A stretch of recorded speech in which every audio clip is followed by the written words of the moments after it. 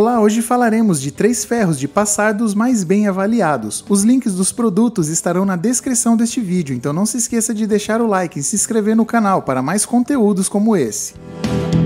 O ferro de passar da Oster é potente com base antiaderente para facilitar o processo de passar roupa. Conta com potência de 1200 watts, base antiaderente, vapor vertical, cabo de 1,35 metros, na cor champanhe e branco. O preço na gravação deste vídeo é de aproximadamente 100 reais.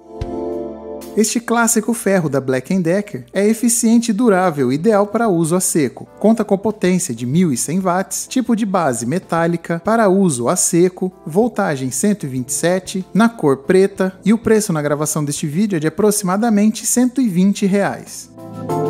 O ferro da Electrolux é versátil com vapor vertical extra e base antiaderente para resultados perfeitos. Conta com potência de 1200 watts, base antiaderente, vapor vertical extra, cabo de 1,35 metros, na cor azul e o preço na gravação deste vídeo é de aproximadamente 125 reais. Então este foi o vídeo apresentando três dos mais bem avaliados ferros de passar disponíveis.